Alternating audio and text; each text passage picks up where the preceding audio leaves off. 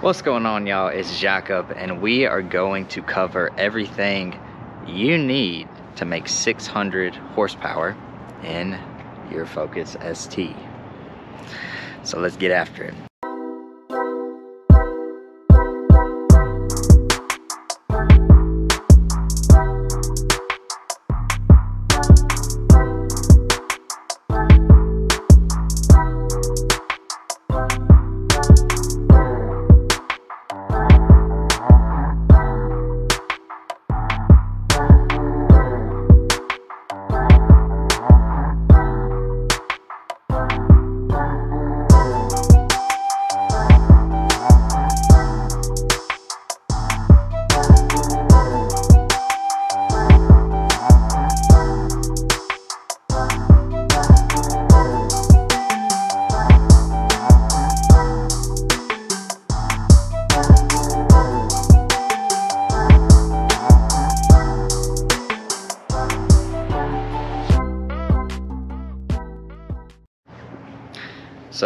Starting off, I will just assume that your car is fresh off the, not fresh out of the dealership, completely stock, and you want to make a lot more power than the 250 crank horsepower that the car makes. So for starters, you're gonna need, number one, you're gonna need a Cobb access port. So got mine mounted right here. And this is going to allow you to data log, monitor everything the car's doing. It allows you to easily flash new tunes to the car, and it just makes a, a, a lot of tuners use the um, Cobb platform to tune the cars. makes it a lot easier. Number two, you're gonna need the bolt-on modifications done to the car, which is basically increasing airflow to the turbo and increasing exhaust from the turbo. So you're gonna need an intake, you're gonna need a downpipe, preferably three inch to three inch exhaust. If you're going for big power, you wanna get that back pressure away from the turbo as quickly and efficiently as possible. At more bolt-on mods that you're going to need is a front mount intercooler, which is which is very important. You got to keep those charge temps low. You don't want to be increasing 30 to 40 degrees in your charge temps during a pull. That's going to cause knock issues. That's going to cause ignition issues. You got to keep that air nice and cool. So we got intake, we got exhaust, we got an intercooler. And with the bolt-on modifications, it's usually preferred to run some colder plugs, especially if you're running an E30 mix. So I'm running the NGK Iridium 6510 plugs, and they have done, even with this power level, it's they have done a great job. So, bolt on, full bolt on. You're you're you're getting the car tuned on E30. You're gonna make around usually 280, 290 wheel horsepower with you can get up to 400 plus pound feet of torque, which is is something I kind of miss from the stock turbo, just having all that like grunt, that low end grunt. But continuing forward this is this is in my opinion a budget build. So there there are a few things that i considered doing that would would have cost more money that i didn't do just for my driving style for what i'm going to use the car for and i will point those things out as well. But exterior of the motor we obviously have the bolt-ons that i just went over and we upgraded all the charge piping. So whenever you go to a big turbo, you're gonna need an external blow-off valve.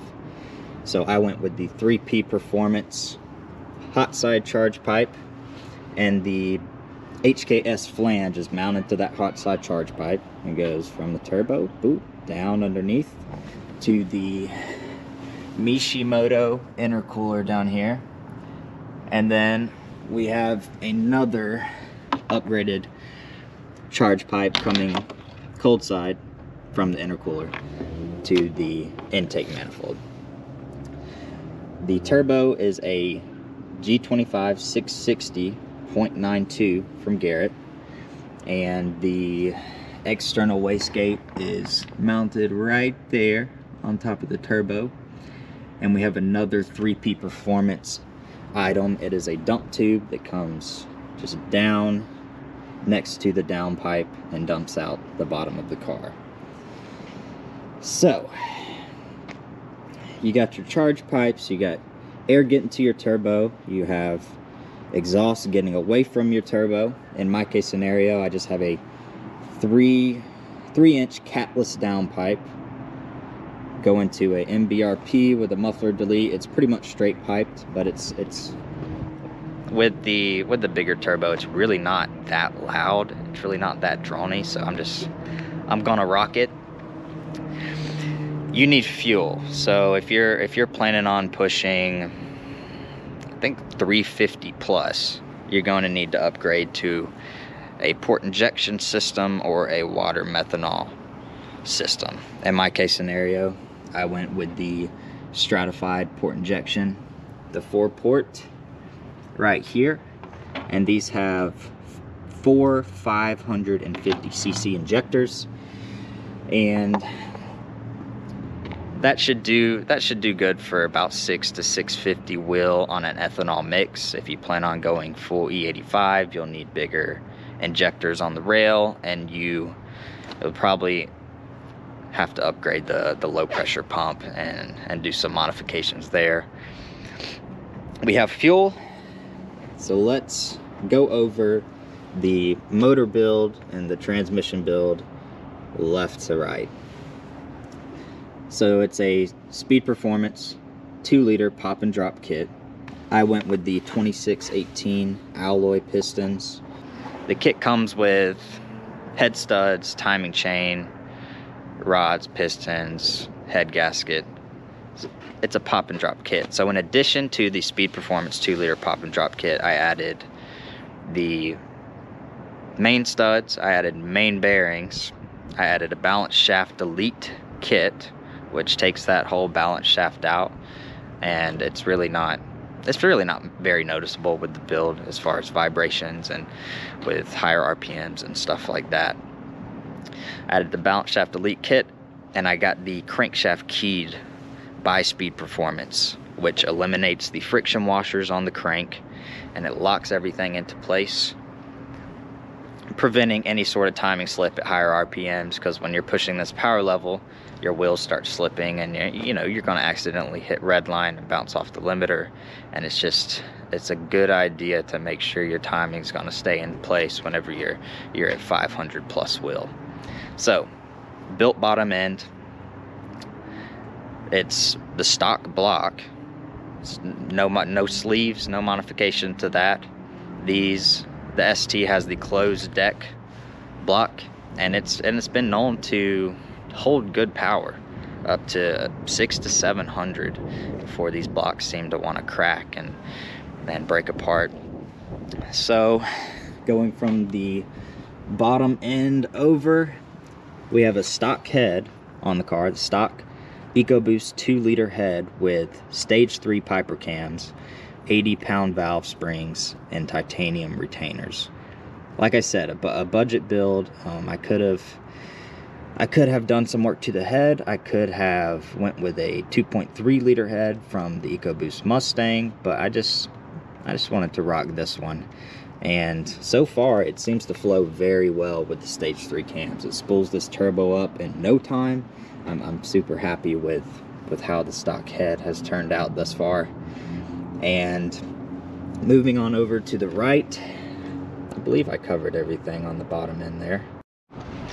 We have a stage 3 plus spec clutch. Clutch. It is the, uh, the single disc clutch and it um, it's it's held up very well so far and it's it's kind of on the cheaper end of the price price spectrum but no not much clutch rattle or anything. Engagement feels good. It feels almost close to stock.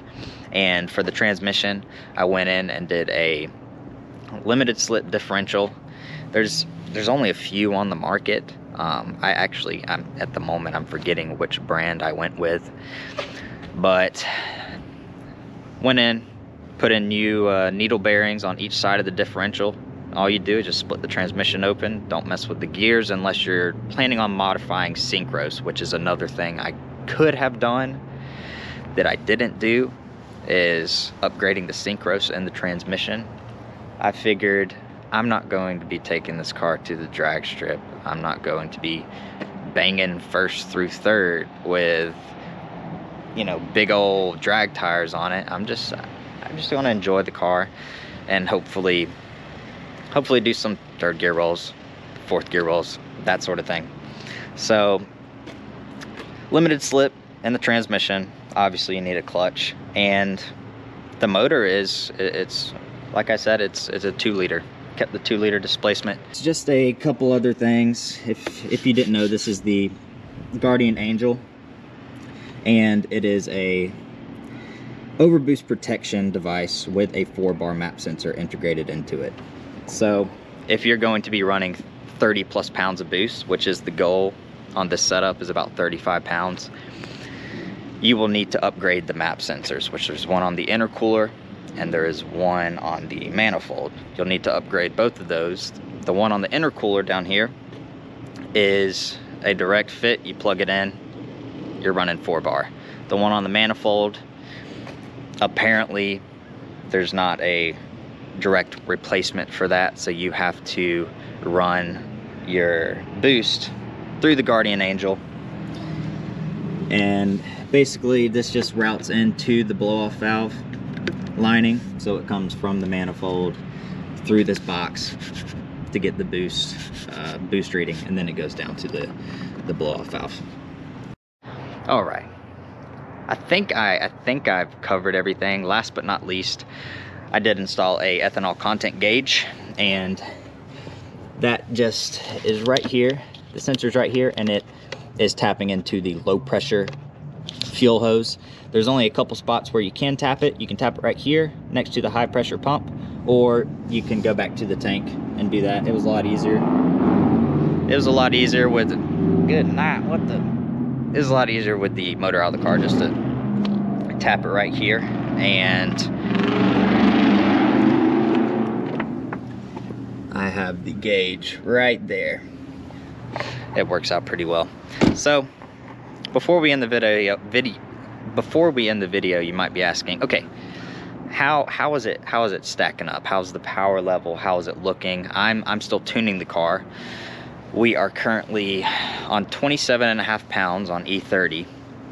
And if you're wondering, it on 26 pounds with this setup, with this budget build, it will the car will, will run mirror to mirror with a stock Challenger Hellcat. I don't know how I know, but yeah, you know, it happens. 26 pounds.